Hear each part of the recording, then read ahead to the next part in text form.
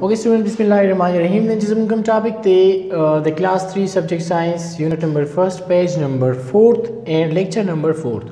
لاست پیراګراف چې موږ په یونټ نمبر 1 کې کوم دی هغه موږ نن وایو د دینه مخکې موږ ویو چې زموږ سره س فزیکل فیچرز دي س فزیکل کریکټریسټک دي جسمانی خصوصیات دي چې کوم زموږ سره سګيږي چینج کیږي او څه زموږ سره داسې کریکټرز دي چې هغه نه چینج کیږي نو کوم چې چینج کیدل ټایم بای ټایم یعنی موږ څومره غټیږو دا غي سره سره هغه فیچرز هغه کریکټر هم چینج کیدل فار ایگزامپل زموږ هایټ نو چې څومره زموږ گروث کیدو اکو زموږ هایټ انکریز کیدو او کومره هغه سیوا کیدو یا فار ایگزامپل زموږ آی کلر وونو آی کلر چې کوم دی که څومره پر اس تاسو ژوند تیریږي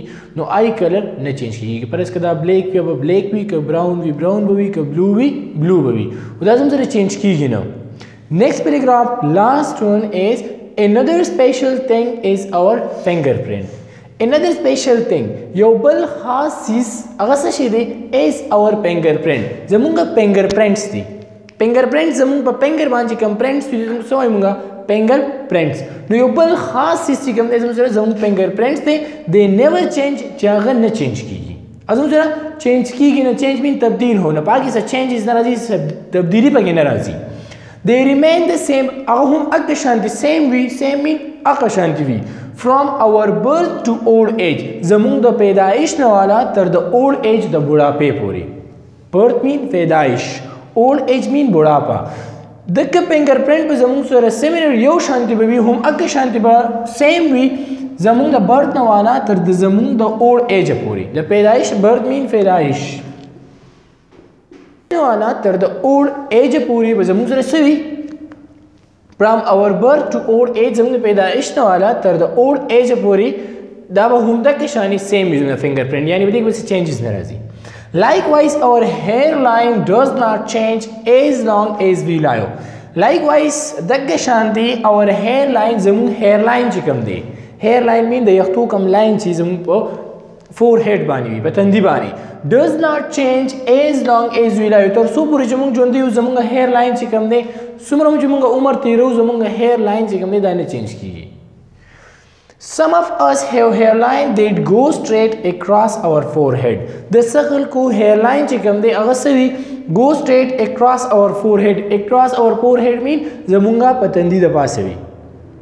اکراس سټریټ وي سټریټ مین سیده وي زموږ په تندي د پاسه